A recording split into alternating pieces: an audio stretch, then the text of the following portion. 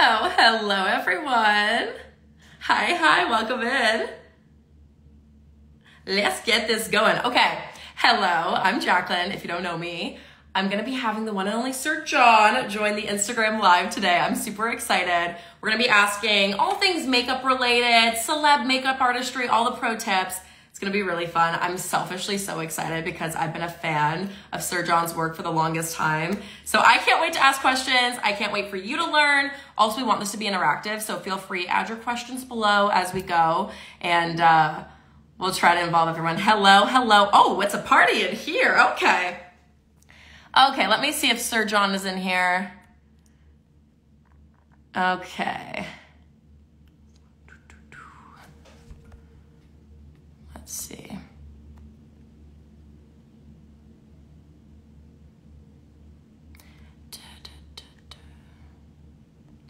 Okay, there we go. I think we are good. I think I accepted through. Let's see if this is gonna. Is this working? It's like in these moments where I realize, am I not tech savvy? There we go. Hello. Hello. How are you? Hey, what's up, Jaclyn? Oh my goodness. so I know I good. was always like now. panic when I do a What's live. I'm like, what if it's not working? What if I don't know how to use a phone? But we're good. You're here. I'm like an analog. I know. I'm like, how am I supposed to be a content creator in the social media world? And I like sometimes doing a live is really, really a stretch for me. But I'm so glad you could join. Thank you so much. Of course, of course. Look at your beautiful face. I Oh, love. you know what? I'm a little bit of a blush draping that you fanatic, but. I am so It's really good. selfishly excited to have Yeah? you do my glam. I know you're coming to Toronto November 5th, and that's what kind of brought us together Yes. today. You've got your master class going on. What can people expect? And can I get a sneak peek of the glam I'm going to be getting? Woo. Okay, first of all, I see London in this. London's London's in the building. I see like, where's everyone tuning in from, guys? I want to know the cities. I want to know the cities. I'm in I'm in LA. Toronto. Jaclyn, you are in Toronto at the moment. Yes. Okay. Um, I love our global our global people. You know. So um, no, but I can't wait to see you, babe. We're gonna have a really good time. We are. Uh, I'm gonna be Mhm. there on November 5th, I believe. And uh, so I haven't figured out like what kind of glam we're gonna do for the class or like you know for our people. I know it's a beautiful, beautiful theater uh, that that good co has put together um, for us, and so um, I'm excited. I'm just excited to be actually near home because I grew up I grew up in Buffalo in, uh, near Niagara Falls, um, and I moved to New York City when I was basically like So you're Canada's neighbor. You, you love us up here. Um, yeah, I've also I'm basically heard yes, that yes, the all kits that you're going to be giving away, because everyone um, that attends is going to be getting like a little makeup goodie bag. I hear they're pretty epic. Do you have any insight of what's inside, or can you tease anything? Puerto Rico, come on, Puerto Rico. Um, I uh, yes, I do. So I called Casual. some friends Just, of mine. just a casual friend call, you know. who, um, Call a friend. But I used to work for Charlotte for such a long time. She's been so instrumental in my career. Um, and it's it's like, yeah, I just so I just I love Charlotte. I call Charlotte, I call uh, Jessica Alba, who's a friend. And also I'm trying to think who else. Just like there's so many people who have uh, donated cool, cool stuff. So I feel like I'm forgetting so many other brands. Danessa Myricks. I mean, like there's so many. I don't know. But this is a goodie bag that can actually start your kit. It's pretty healthy really healthy. Um, and uh, Beauty Blender, shout out to Rea Ann, who, who I, who's such an amazing businesswoman. So, but what I love about the brands, for me, is I grew up, like for example, even last night, I grew up, I went to a crash at dinner uh, to pick a friend of mine up, who his name is Julee Wilson. So shout out to Julee. And I saw all of my editor girlfriends. So I grew up Mhm. around all of these editors and journalists, you know, um, and we were all assistants back in the day. And so we were all cubs. Now everyone's the big cats. So it was kind of cool to see the people Yeah. and then also to know the people behind these brands. So like I feel blessed to be able to like have worked with Danessa Myrick, uh, love Mario, Patrick, uh, Patrick Ta, like Anastasia, Anastasia. I was at her home uh, Friday night. She threw a dinner. I was sitting next to Sofia Vergara, Jessica Alba was her date. So um, it just feels good to Totally. in I'm the beauty community. Sure, to you've seen support so many evolutions of the beauty world since from when you started. What's something that's been such a noticeable change in a good way in the beauty space? Ooh. Um, so I would say that the most noticeable change is the Mhm. fact that uh, Mhm. everyone's invited to the party. Everyone is not entitled, but should see themselves from inception in everything that we do.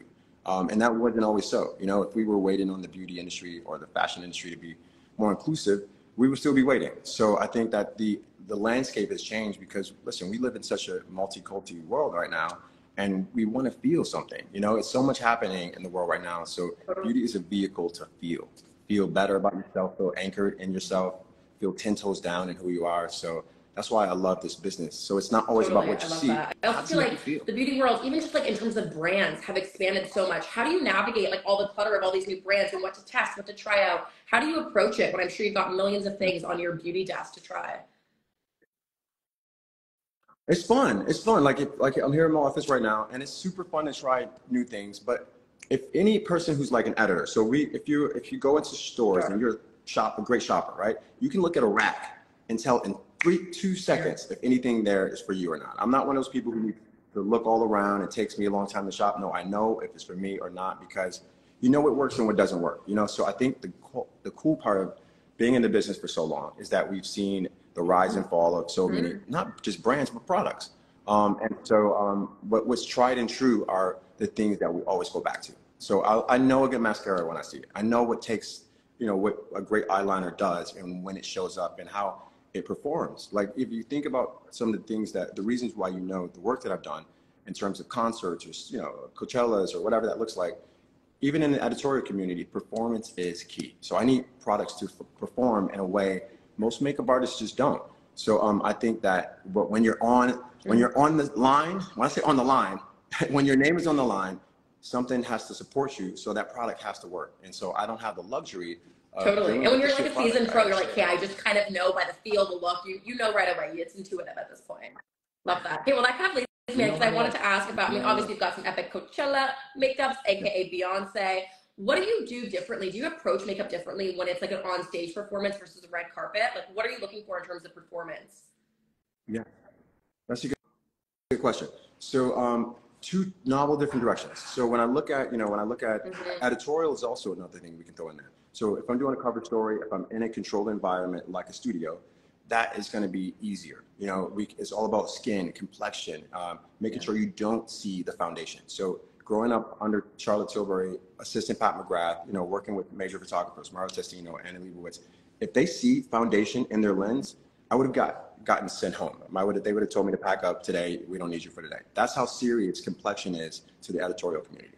Um, and then when you look at something like, you know, uh, a red carpet, we want more glamour. We want something. We want forever reoccurring beauty staples. We want we want like the va va voom, you know, and and that also translates into what it can look like for a show, a Grammys, a stage. So you know, when you work with someone who's basically doing cardio on stage for two hours, or you know, really giving it all they have, it's all about performance. So every, duality is key. I make sure that I use a cream foundation and I'll buff a powder foundation into it.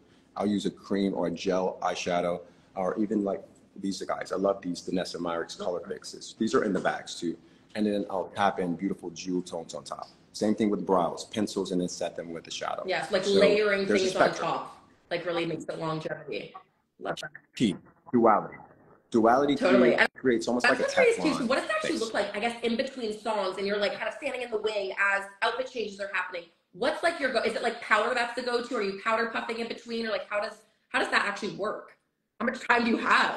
Well, classically, you know, yeah. So the thing is, like, you know, for years, and it, it depends on the person, it depends on the talent, you know. So, but for years, you're all you're building, you're always continuing to reinforce or build the face. You know, at some point, maybe Mhm. there's you're losing foundation here. At some point, maybe you're losing a brow. Maybe you know the lipstick is smudging, which we ho- we- don't love. And there's so many technological advances in products now, so there's no need to make sure that the lipsticks don't transfer. But you know, I, I you're always Mhm. looking with like a forensic eye on what can I create or what can I continue to restructure. So the goal is it's almost like scaffolding.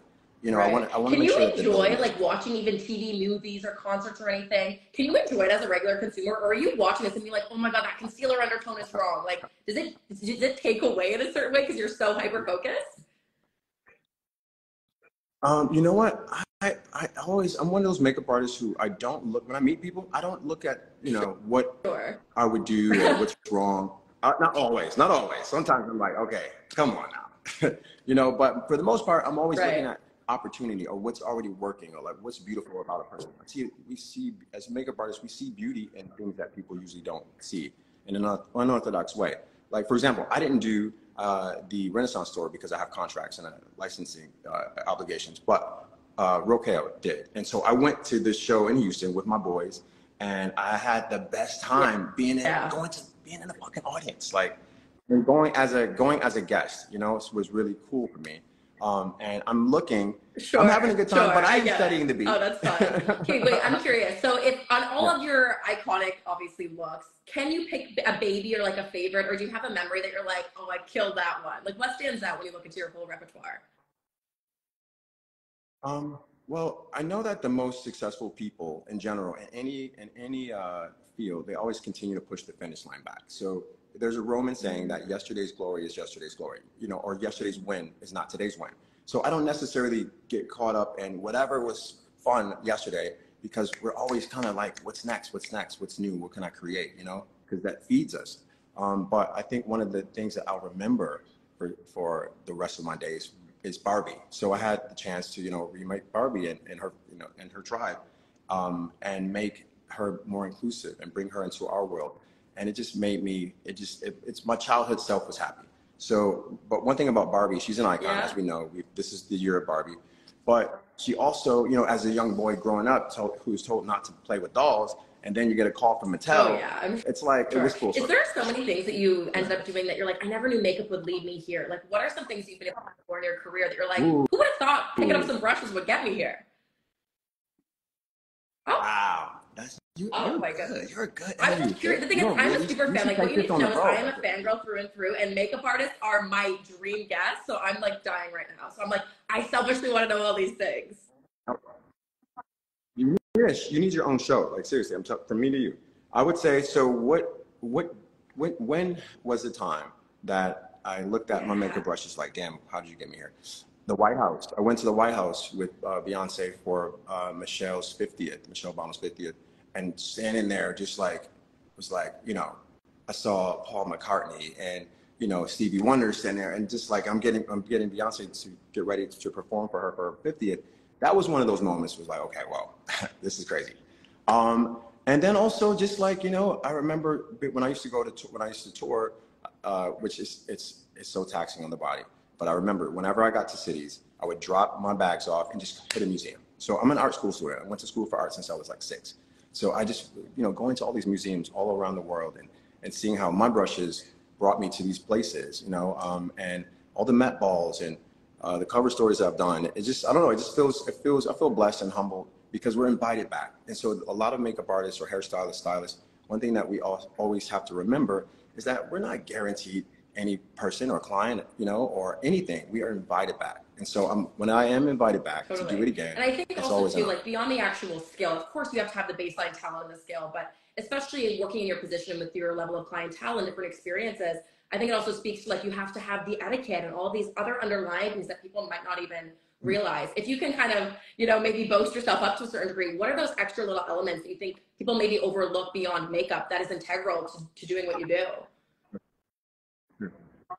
Right, honestly, it's not I didn't get here because of the makeup. I mean, you know, I believe I'm a good makeup artist, a great makeup artist, but yeah. it's really all about relationships. You know, the reason I'm here, like I remember Iman told me years ago, you have to turn a moment into a lifetime. And so it's okay to get there, but how are you going to stay there for 20 years? And so it's all about being a destination of energy. I'm here because people like my vibe. And so there's so many people who are great makeup artists, who are amazing hairstylists. I always tell people who are great stylists, but no one wants to be around them. They're not uh, they're not they don't make you feel safe. And so for me, it's like how doing the work on myself and mental health is really important to me. How can I make sure that I'm adding to this environment? How can I make sure that I'm moving the needle for my client emotionally so she can emotionally come in the room and put her head back down and feel safe? So safety is key, uh, and and just knowing when when to. It's a game of hide and seek. Sometimes you know have to know when to walk out of the room when your client is having a really important phone call. Don't don't when someone has to ask you to leave. That's bad. So there's so many small things. You just need to know when to, you know, when to sh- shed light and love, and then when to bow out and, and allow someone a moment with their family or a moment that you don't necessarily need to be around. It's reading the room. If you are able to read the room um, and then add something to it, you'll be wild. Are there extra kind of like elements that you end up doing that I think the average person would think, hey, makeup, okay, you're putting on foundation or lipstick, But is are you doing like the facials beforehand, the skincare prep? Are you flossing the teeth? Like, what are the craziest like extra duties you're doing? Hold Okay. Oh, Hold Okay. I'm all here with like Okay, red light so therapy. LED. Like I'm red. I'm yeah. I'm LED in it. I'm uh let's see. I'm like cryo balling it. Like whatever it takes to, Right. to remove inflammation from the face, I'm gonna do. But also I've been an advocate for wellness Right. since before it was popular. So I've always been juicing. So like for example, Mhm. kale has 650% of vitamin K. Vitamin K speeds up sluggish circulation. When you see dark circles, often that is lackluster circulation. Um, beets, beets are great because it purifies your blood if we've had too much wine or whiskey or tequila. Um, even things like beta carotene, you know, drinking pumpkins or uh, carrots are really great for cell turnover. So it's like a natural exfoliant. So all of these things I've been infusing in my girls Totally like a full since day one. 360 I've been doing it approach. myself. I'm curious too, how do you work with like the hairstylist, the makeup? When you're creating, say, a Met Gala look, does it come to the makeup first? Is it the outfit and then the Yeah. hair? Like, how do you collaborate when everyone probably has a bit of a different vision? I, I love talking to you. Um, I would say Yeah. it's always about the dress, babe. It's always the dress. The sty- stylists are like they come in and we're like the bip. We're like basically we're the mice, Yeah. and the stylists are like the bippity boppity boop for Cinderella. You know. So when I think about the Met Ball, when I think about the Grammys, it's it all revolves. You know that that uh, Mm-hmm, give, give a little commotion for the dress kind of thing. It always is like that's the inspiration, but this is how she wants to look. This is the character that she wants to become or, or you know exist within in terms of a range. What can we add to that? And so also when I look at not just red carpets, when I look at when I get a treatment for the first Tiffany's campaign, uh, when I got the treatment for Lemonade or the Beyonce self-titled album, all of these things, Black is King, you start to feel like, let me absorb this. You know, let me take some of this in. And I'm a history buff, huge history buff. So, and especially art history. So I want to go back into the archives of the Byzantine era, or what can I find from, uh, you know, the the Victorian era that can create more emotion, you know, here in this scene. So for me, it's like, how can I create emotion uh, with beauty instead of just dolliness? A lot of makeup artists who are great, or beauty professionals or enthusiasts, Right. are just concerned about, I want to look pretty. And so for me, beauty is not about just being beautiful. How can I make someone look more powerful? How can I make them look, you know, uh, a bit, uh, how can I tell a story? So I am a storyteller, and these are ways that we communicate our stories or our um, our inspirations through our hands or through you know and through different ways. And so when I look at a room that we go into, and I see a hairstylist, shout out to Neil, shout out to Kim Kimble, shout out to Jen Atkin, all of my friends who you know um, who we all come together. It's like a reunion when we get get get a chance to work together. But what's really key is harmony. So to answer your question, what is the biggest takeaway when we start to start glam or whatever?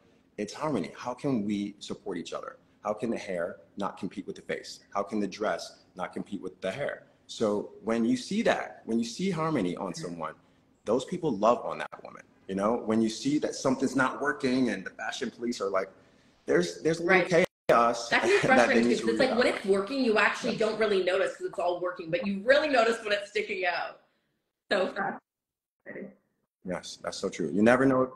Like I always tell people about like fillers and, and Botox and shit. Right. You don't know good work. Good work you Right, can't see. that's a good one. I'm curious, has there ever been a look, like I'm sure at this point, like with the relationships you've built, like people have trust, they're like, do your thing, we know you get it. But has there ever had to been a point where you're like, hey, the creative integrity, this is what needs to happen, this needs to be the look that you had to fight for, that you're glad that you did? oh yeah. Ooh, awesome. Oh yeah. Okay, give it to Um, me. you know what? We are really passionate. We are really passionate about our jobs. Like our jobs are our names, you know, and I'm talking about most makeup artists who are known by their first names only are, you know, we are we support our families with it. Like our, you know, our legacy is tied into a look or a cover or so it's emotional for us. And so when something is someone has a uh, is pushing back on something that doesn't look flattering, if you're in flattering light, so for me, I'm a, I'm a, I'm crazy about lighting. And so if I'm on set and I know this is really shit light for my client who happens to be a black woman and you have to shoot black women differently, I'm going to use my voice. I'm going to speak up. I'm going to advocate for my client and myself. Um, and it's not always popular, but this is when you know, need to make sure that your ideas are, are able to translate. You don't have to assimilate. You don't have to, but you should be able to make sure that your ideas translate well. And so there's a way to do everything. There's a way to advocate for yourself that isn't rude or aggressive, but Right. I speak up. Yeah, knowing when to say something. for sure. And it's not for me. It's for the. It's, it's not for me. It's for the client. It's for the picture. It's for the shot. It's for the campaign. It's for Totally. the work. And I feel like I've even had silly situations where you're out with friends and someone takes a flash photo. You're like, that's what I look like. That didn't photograph the same way. How do you kind of adjust? Are you just adjusting on the fly when you're seeing things on monitors and cameras? Like, what happens if you have to let them go on the red carpet and you're like, hope that photographs the same way? Or is that something you just, again, adjust to knowing the different scenarios? That's a really great Don't question. hype me up too much. You are good. Okay, so um, I, I would tell you when it comes to lighting, you know, so every whenever you're a professional makeup artist, we don't there's we don't have the luxury of practice anymore. Every time I leave my house for a job is the big job, and so and that's why I take it seriously when I have hire assistants or people who feel the same way about the craft as I do. Um, but I will say that when you have someone and they're about to leave, try to take a Polaroid. You know, have their photographer take. You know, you want to get you want to see what what does she look like in bad light. You know, and also make sure that you're talking to your girl so she knows never stand under a spot because it'll make your hair look thin. You know, like talk to them. If you've been on set for years and you have talent that may be new, give some of that knowledge on, on how they can feel more comfortable. Um, root for them, you know? And so when it comes to lighting, I'm always changing, adjusting, looking at the monitors. right. The monitors rule. I'm sure there's like the ideal setup when you're doing your makeup with the nice lighting, but let's be real, you're on the fly all the time. I'm sure you're running in cars, doing makeup, hotel rooms. Like, what's been the craziest kind of scenario Yeah. getting someone ready and you're like, I don't know how to pull that off, and it's been like pitch black. I haven't even seen what the makeup looks like. What's that scenario look like, or is that day to day? Is that happening all the time? Hey, so the craziest for me, and we in Elle magazine was it Harper's Bazaar? Elle Elle um, did this of like did this whole ish thing around it, which was a back Oh. backseat beat they called it. So they were like, so John, we heard about this time. I was in Vancouver. Shout out to Vancouver. Shout out to Canada. In Vancouver, and we I had no time to do her makeup before the Miss Carter show. This is back in the day when you know Miss Carter show, the, our- my first tour together. So I met her at the airport with the drivers, you know, with Julius, and I had to. I was in the front seat, and I had to give her a beat. You're in the She's front. sitting in the back seat, and I'm Turning and we're around. turning, and we're like, Okay. I'm in the front, and we're late. Yes, and we're late, and, she, and when she gets out the car, Just the car sickness alone, let alone like So, navigating had- what mascara in a vehicle. Shocking. I, I planted, I planted my feet in there somewhere, like on both sides of the, you know, that front seat. I remember I was basically I had my elbow in the, the, the area where her headrest is, and I'm holding her jaw, like in her neck, so she doesn't move, and I'm just working, working. And you know what? At some point, you check out. You check out when my grandmother used to always say, when the spirit meets the hand, or the da- or the vocals, or your feet. That's when art is created. So you, any artist, any just dancer, like musician, the flow, you're They like check out. it done. It's do They check out. And so- you're in it. You're in it. You're in it. So I think that was the craziest. And then I had to do the same thing for Al, which was fun. Um, and then I used, to, I used to do makeup in a strip club in Queens. Shout out to Astoria, Steinway Boulevard. And I used to love having to get the girls ready every night. On and so that I became really fast. You know, before fashion weeks, before all of the fancy stuff, being in the club with the girls was one of the best experiences. Hey. Craziest, Oh, that's craziest, awesome. but it was. If you could, like, you know, paint the perfect picture, you've got someone sitting down, you've got your full time to do your glam. What does that look like? Is that like an hour? Is that two hours? What is what is the dream, perfect, non-rush, non-stressful makeup look like? Okay. supposed Oh. to have two hours, okay? And this is, and everybody Yeah. who knows me or knows Yeah. this, what the shit that happens, we're supposed to be allotted two hours for glam. Um, but we are not always, um, it's a luxury to have that much time. So it's easy when it's an editorial and you just have to do skin, like just glowy skin. You want to make them look like just fresh, you know? Um, the no makeup makeup. I love no. I love no makeup makeup skin. I love eyes, but the skin should look like skin. Uh oh. Uh oh. Is this my end or your, okay? You're back. That might have. I don't know if that was me or you. Sorry. Uh, my bad. Weird, I didn't know how to silence my phone. Somebody called me. My bad. Yeah, yeah, so, but do. can, I'm can I go back into that? Okay. cool. Okay. So we're supposed to have two hours. Sometimes, like in a concert, we need a little bit more time because I'm doing basically a double face on. And um, but when you're fast, I always tell don't ever show a client that you, what you can do fast Right. because they'll never give you more time. Um, and so it's it's one of those things. I've done a face. I remember for the formation video, when she's standing on the Oh, porch holding the yeah. you know, with the guys in the background. That was like 18 minutes. 18 minutes. Um, I worked with Joan for the Met Ball, and I was late, coming from another client, uh, coming from Karlie Kloss. Shout out to Joan. Shout out to Karlie Kloss. I love you guys. Um, and Joan and I got Joan together in 30 minutes, but it was all over. It, it, we made beauty history the next day, which was the purple. Oh my gosh, crazy. Uh, yeah. Okay, I'm curious. I got a lot of questions in when I announced I was doing this from like aspiring or upcoming makeup artists, kind of trying to start assert themselves in their career. What do you? What advice do you give them now, especially now navigating social media and like posting their work on Instagram? What is the best Mm. advice for someone starting today? What do you recommend? That's the Yeah, best- yeah. I'm trying to give Okay. myself a little room here. There we go. The best advice for someone starting today. You know, I was just having this conversation with a friend of mine and also the editors yesterday. Is that the landscape is so different. To come in the same way I did, I don't necessarily mm-hmm. know if it exists in the same way because it wasn't as saturated, and this was before Instagram and all that kind of stuff. However, you have the ability to tell your own story, and you don't need to wait for someone to tell your story. You don't need to wait, like you know, even if you think about the music industry, they used to have to wait for labels. They used to have to wait for an invite to do something or to do to be great. You don't have to wait for anybody to be great. All you need to do is, you know, practice your craft, practice on other people, not just yourself.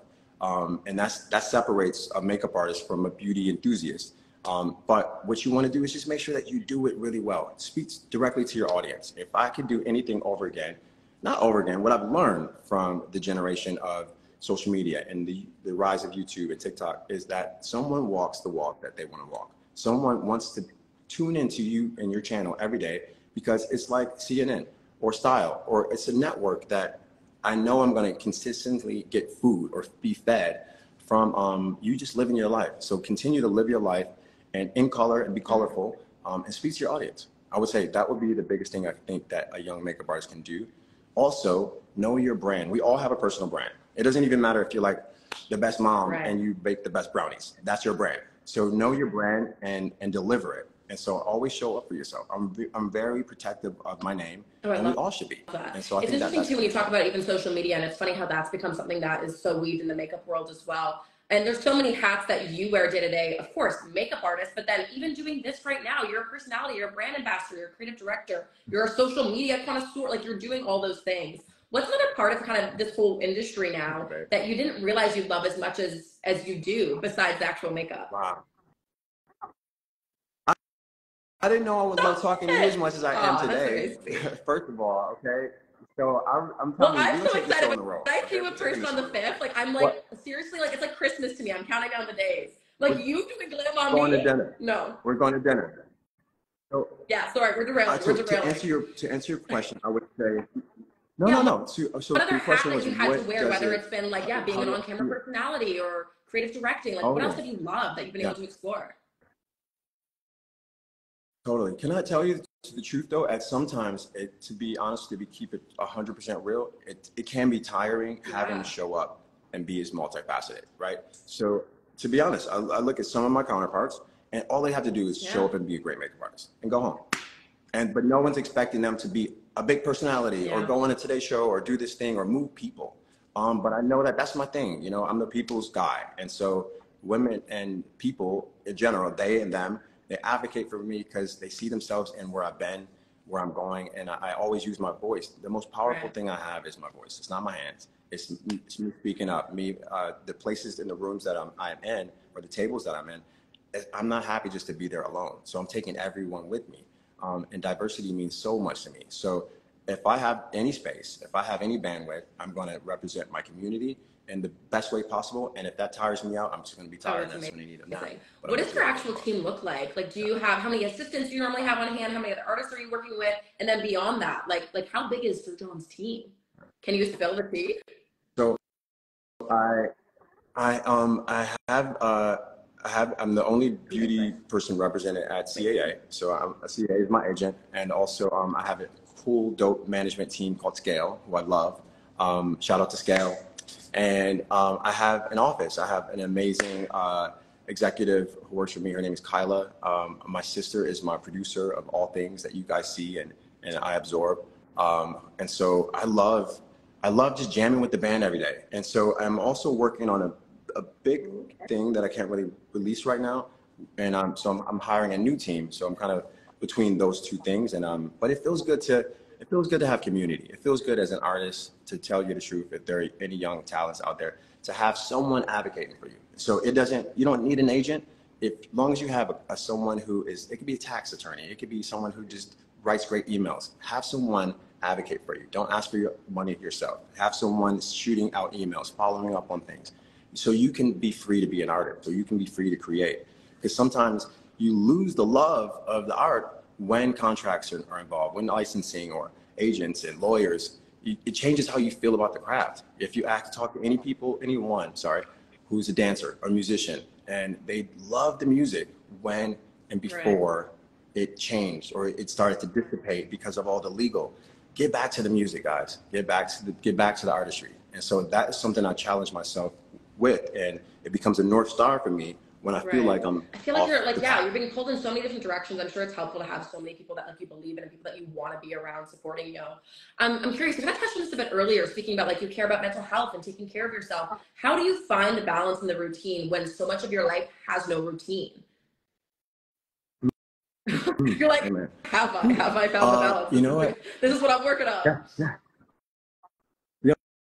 Yeah. You know what? The funny thing is, it's like mm. I, I, do the temperature check daily. So when I and, I and I always talk to people about this. When people come to my master classes, they're not there to just hear about lashes and like my thing is like I I want people to feel good. I, I don't I have people who cry, whatever it is, you're gonna feel something you know and so because i've felt i've been through so much in my career and so walking and been doing this well adjacent to this business since i was 19 and you walk through the wilderness you're literally walking through trying to feel, feel your way around um, it's like looking for wi-fi you know you know it exists and it's there somewhere but you can't necessarily access it so it can bring you a lot of depression you know when you're starting out it can bring you a ton of anxiety uh, you know until you are seeing some of the rewards or the alignment that you're uh, wanting to receive or, or the feedback you need from the universe.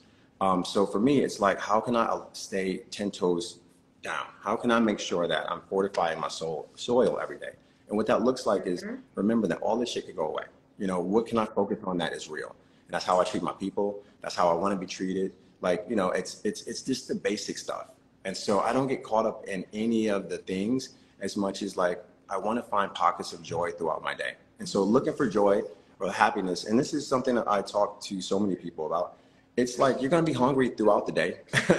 no one's happy all day. If you right. find a motherfucker who's happy all day, you should feel the peaks and, and so, yeah. Something's wrong. She's not human. You know, so I find as long as I can find pockets of things that make me happy, and so I moved to LA. I like the, I like blue mm-hmm. skies. I don't I don't like gray days. I like jumping in my, my truck or my wagon or my Genesis and and going for a ride. I love my dog. So finding small things that make you happy, bring you joy. Yeah, you talked about like early days, you know, that can be hard when you're like just building up the momentum. Was there like kind of a turning point in your career? I don't know if it was when it was meeting Charlotte or assisting for Pat. Like, do you look back at your career and go, oh, that was a milestone, like turning point for me? Absolutely. I remember, honestly, I, I can tell you, I know the year. Uh, I, it was, you know, assisting oh, yeah. for a while. I was happy to be an assistant. I was so happy to be an assistant because I just wanted to be in the room. You know, I was in the Harlem, you know, uh, just coming out the strip club. I would do, be at the, the club from 7 to 2 in the morning and then have to be on set sometimes at 7 a.m., 8 a.m. Didn't care, didn't need to sleep. I just was happy to carry Charlotte's luggage. Pep Gay, he was uh, a makeup artist. Sam Fine, who became my big brother. So like, I used to sleep on Sam's couch, you know, before I found my apartment at one point. So I always have been really blessed to be a student. I think being a student uh, or an understudy and seeing so many great people do what they do. I used to I remember staying at shows. So I would be backstage a show. I remember a problem. Or we were at Etro in Milan when I met Joan or Givenchy, I think. And I just will always stand by and watch Charlotte talk to the press about what the looks she created. The looks that we were all ideating around, I just always wanted to see how did she deliver it. And so those things kind of fed me, um, and I made them my own. And so I love language. I love dialogue. I love having conversation. So I love the people who are great storytellers. And so I remember Charlotte, you know, was like, hey, listen, I want you to be yourself. You don't have to wear black every day. I know most assistants do. Bring all that here, you know? And so you don't need a reminder to be yourself or permission, but sometimes a reminder is key. Um, I remember meeting Beyonce at Tom Ford's first women's wear show, and that interaction is now history. It changed my life. It changed the, the landscape of beauty in general. and I also remember, you know, like, yeah, I remember when I knew I needed to get on my own and I couldn't be an assistant anymore. So I had this buffer of like, I can still work with the people. And they were like, so John, you're, you're ready to, I was like, oh shit, is it time? Like, can I do this on my own? And, um, and then I got a great agent. I went from being Pat's assistant to being at the same agency as Pat McGrath, Streeters in New York. Um, and I just felt like, okay, now is the time I can change my mindset. Right. This is when I become a business, you know? So I was, and so at that point, you're nervous because did I believe in my capability? I believed, but I was actually just kind of pushed out of the nest in a way. And, Oh, um, and then I had to fly. You've been flying, And I'll- and I've been absolutely. flying That's so funny. Yeah, I feel like there's times it's that moment when you're like in it, and you're like, I think that thing is happening. Do I have it? Do I gotta fake it till I make it? Like you're kind of yeah, like of course it's natural I think to to ask kind of some of those questions. Has there been a point like, or still even current like current day, is there something when it comes to makeup you're like, I feel like I'm faking it a little bit, like I'm I feel like I'm not good at doing a lip, or is there like what's the one part of the makeup routine that you're like, that's not I, not for me. I hate doing a lash. Wow. Okay. I want to know. so I just want to know, like, the, yeah, like, you Okay, kind of so a little is- bit. You're obviously this is- incredible, amazing, but tell the- me you hate putting is on an individual lash because I do. I cannot to this day. I don't know Oh. how to use a felt pen liner. So, and I wasn't, I remember like, cause it's easy for you guys to use it on yourself, right? But when someone's on the outside using it on you, I can't use, I don't know how to work, use it. So I use, I only, I remember I wanted to do liners. And so on B, really bad when I first started the Miss Carter, Carter show, we're talking about like the, but I wasn't really good at them. And she knew I was not good at them, so she made me do So it. wait, are you using then like gel Challenge. hot liners and like And so- brush? Oh, okay. Uh-huh, uh-huh. Because I didn't have the capability of using a felt marker the way that like a Well, yeah, liquid because I guess liner, like the I use it ergonomics is like it's backwards Um, then to you putting it on someone else. it's backward. It doesn't. I mean, some people may do it really well, but that was always a difficult. Then it's now it's my Yeah. favorite thing to do. I love I love it. You know, so that was one thing. I don't have the patience for. Uh, I love individual lashes, but I don't really have the patience to do. I hate. I know this sounds crazy. I don't really love putting lips Yeah. on anybody. So, and I'll tell you why. Because I'll tell you why. I love doing the face, but lips are always an afterthought for me. So, and I, what I realized with working with some of these women, working with some really strong women who know themselves and are and are really in control of their identity, they need to feel a part of this. So after Yeah. I do the face, I'm gonna hand you the lip liner, and you're gonna walk me through it. and so that's kind of the thing. And I also, and I noticed that you know doing that, they all people always like to have a little bit of themselves mixed Really? in with a look, you know, and so it's not totally void of their own personality. So I think a lip is a great way And then you don't have to each other. do the lip. Haha, even better. And then I don't, That's funny. don't Is there the other lip. steps that certain people like to do? Like I've heard some people like to like curl their own lashes or do their own mascara. Do you like let people take the reins? You go do your thing. Oh yeah. Just don't mess up and get mascara on the lid. So uh, most Yeah. most people need to curl their own lashes. Like it, it, I, we can, but I think for a safety concern, like if people Right. are moving fast, hey babe, curl your lashes. It's super fast. It's super easy to do. Um, and uh, I love putting mascara on people, but some people like to do their. I know like Khloe Kardashian, she loves to give herself her own mascara. Rihanna Yeah. loves to do her own lip, the Cupid's bow. Like all of these women, you have to realize that they know their faces so well, and their faces are now parts of history, you know, and they've been photographed by the best, and they've seen the best lighting. So, but we as makeup artists, as professionals, we we got one more hack in our pocket that you haven't seen. They haven't seen, so that's why we're still there, you know. So it's always nice, like not tug of war, but it's a nice uh, dynamic to see uh, a, a celebrity makeup artist. So talking about current makeup Yeah. today, like what are our trends? What's the trend that you're like, okay, hate this trend. Which one do you want to see more of? I want to like get it on like day to day makeup. What can I do that you love? Yeah. Okay, so I hate cut crease, cut creases. Like I think it's just, I think it's just overdone, and I think it just looks.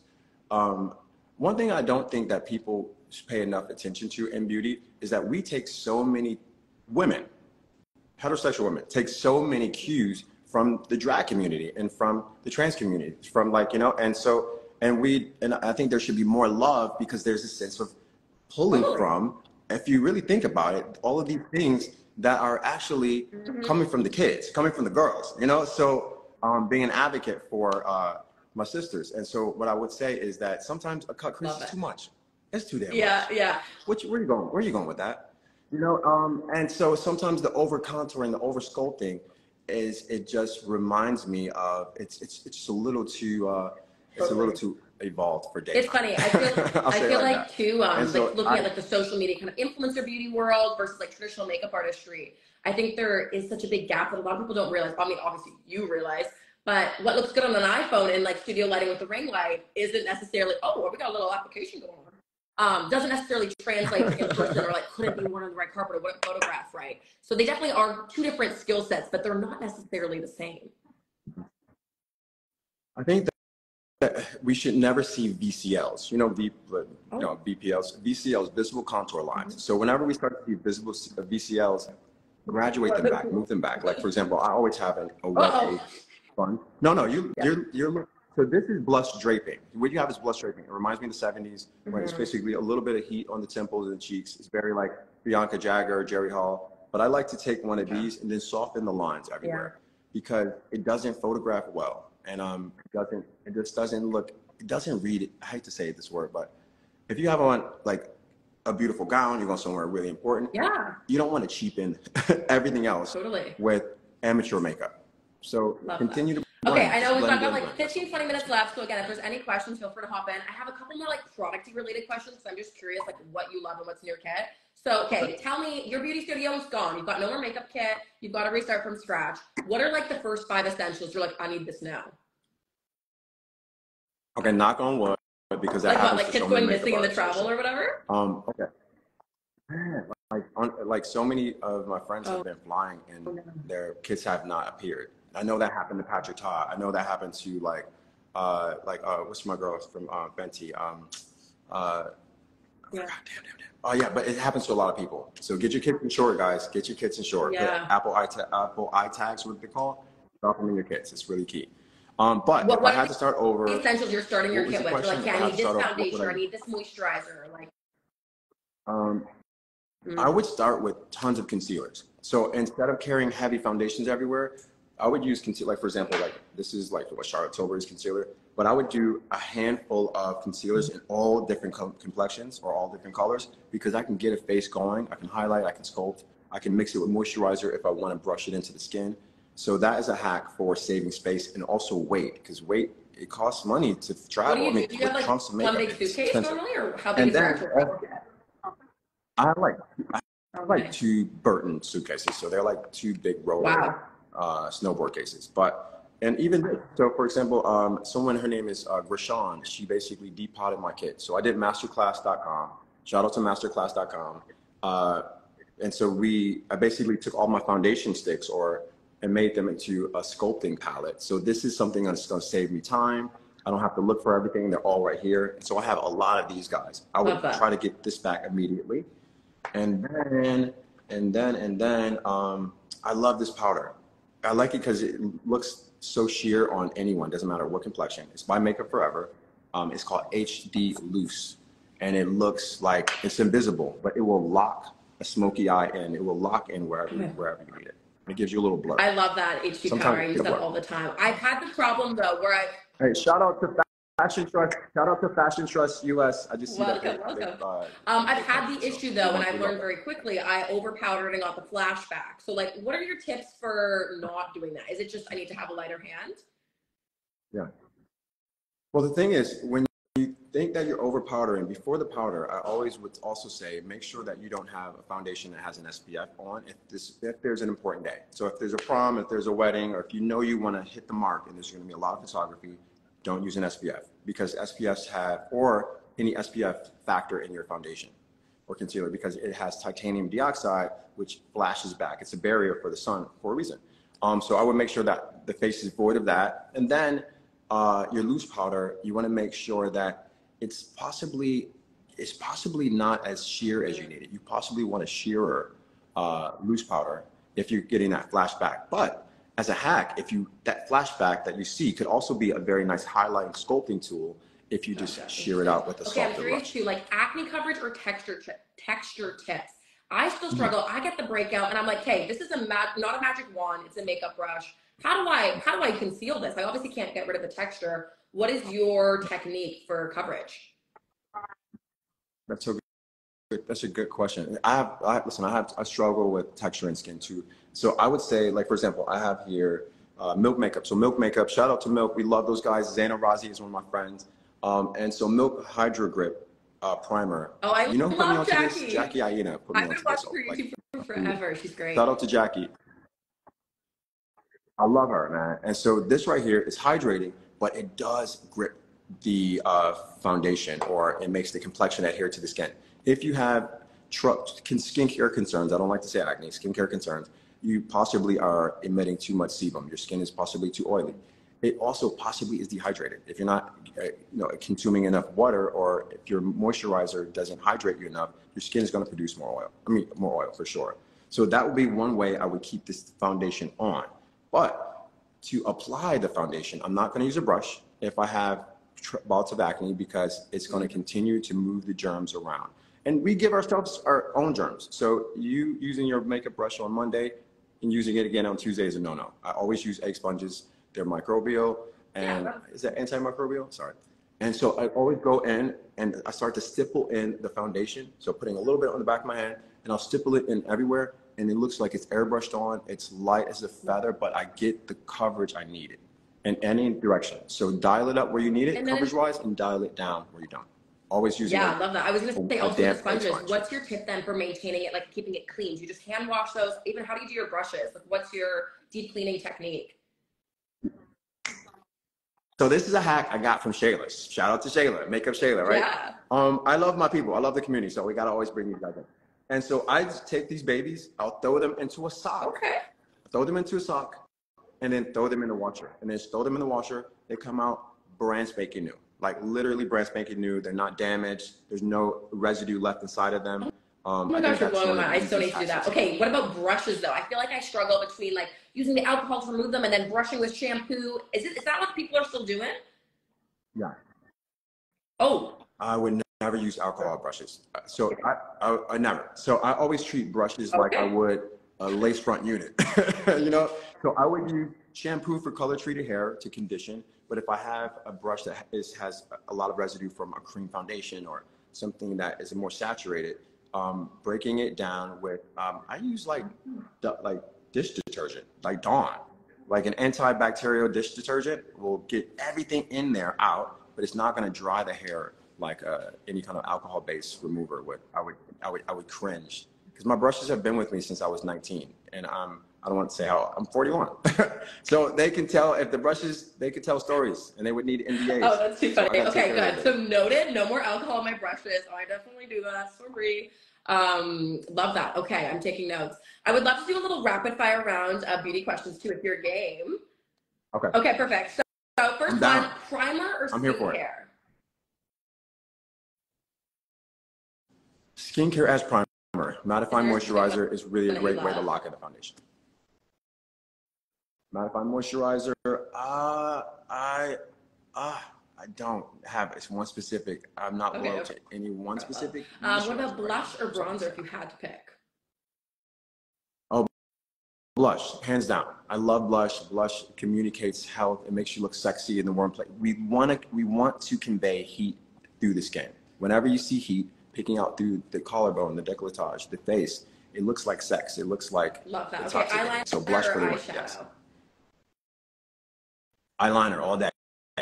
It's the most. It's, it communicates the most. It's the oldest uh, makeup uh, tool we've ever had, known to man. And um, it's it's uh, it's Just no it's felt tip everything. liner. Liner is no everything. felt tip. Nope. Felt tip liner. I like kohl's or pencils. Or What about that looks like, lipstick no or lip liner? Oh, that's a good question. I would say lipstick. Lipstick for sure. Lipstick is. I love lipstick by itself. Uh, liner sometimes, but lipstick always. And as at some points, you can even soften and blur the edges so it looks fuller. Okay, and I've heard you talk about you don't say you bake, you what was it? You like to cook, not bake, right? I cook. Okay, so I cook, cooking I don't bake. or Yes, setting I don't bake. Yeah. Um, cooking because I don't believe in a lot of powder. So too much powder is aging, um, and it's just no skin that if you just left the spa, if you have if you live a good Mm. life, your skin is not that matte, not not ever. And when I say that, the spa, eating well, having sex regularly, you have a luster. So never kill that luster. Never kill the luster. You want to maintain it. You want to possibly control it a bit in the T zone. Okay, well, I am again selfishly so excited for anyone that's just joining in now. I'm going to be one of the models at Sir John's Makeup Masterclass presented by That Good Co. It's on November 5th. And again, I don't know what look I'm getting, but I just know I'm going to have my makeup life change forever. So I'm a little scared. You're going to do my makeup so well that any look after that I do, I'm going to be like, it's not the same. Don't be it doesn't hit the scared. same. Don't be scared, babe. No, we're gonna have a good time. We're gonna we're gonna have a good time. And like I said, like what the, the thing I want to communicate with you and anybody who's watching, or if they're not, is the fact that we are using makeup to feel something and to feel anchored or to feel moved or powerful or but not just pretty. Pretty is boring. I what to say? It- Yeah, pretty is boring. It, yeah, it's not. It's it's not sustainable.